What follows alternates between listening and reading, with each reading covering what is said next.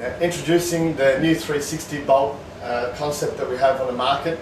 Uh, traditionally, we have an anchor bolt system that goes into the ground and it's made up of four bolts like this that are welded together with a set of ligatures around.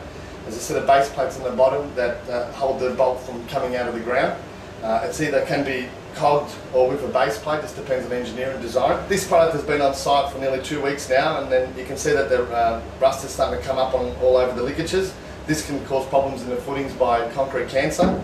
Uh, another problem is, like we said, that this you cannot adjust these once they're cast in the concrete. So therefore, once you have your uh, base plate coming over the top, if it's in the wrong position with the column, you have to modify the base plate and cut holes in it, add to the base plate and whatever else you have to do to make it in, uh, fit in the right position. This is where sort of our product comes in now and we have a product where once you cast into the concrete, you've still got adjustability. Now I introduce the, the 360 bolt. It's made up of a durable plastic, uh, a zinc threaded rod or a galvanised threaded rod. It's all bolted together with lock nuts like a purlin flange bolt. Uh, there is no welding at all on our product, therefore you don't need a, a welder on site or there's no rust coming out of the product or interfering with the foundation. Then we have a galvanised plate on top. It has survey markings over the top so when a surveyor puts his pins down or, or string lines or whatever you're doing on site, you can locate this product correctly.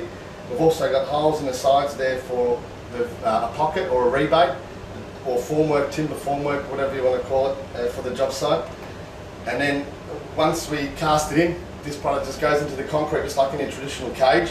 You sink it into the concrete or pre, pre-hook it so it's in position ready to go, but you place it down so it's flush level with the top of the concrete and all you have left exposed is our top of the plate.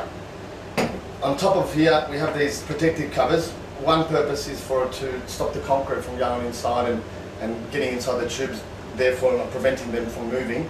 But another purpose is that these days on site, uh, for high visibility, that there's a projection of bolts around the area and everyone can clearly see that there's bolts and it stops any OHS issues on site.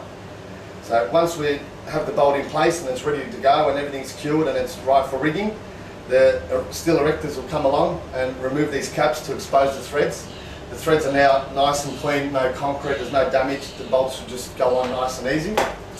Uh, the riggers will come along and put packers down to get their heights set everywhere. So once the riggers have come along and set out and put their packers down, they can now place the column on top of the bolts.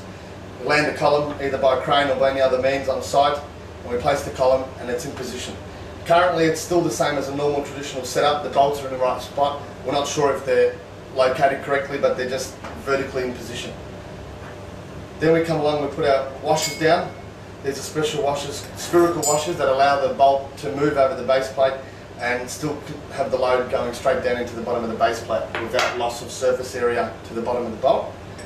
So we just tie the bolts on, fasten the bolt down so it's safe and won't fall over.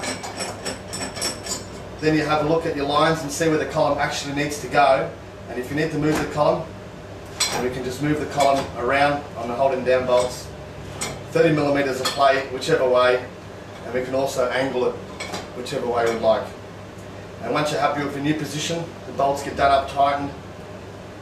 The guys will come along, ground underneath, just like a traditional setup, and it's done.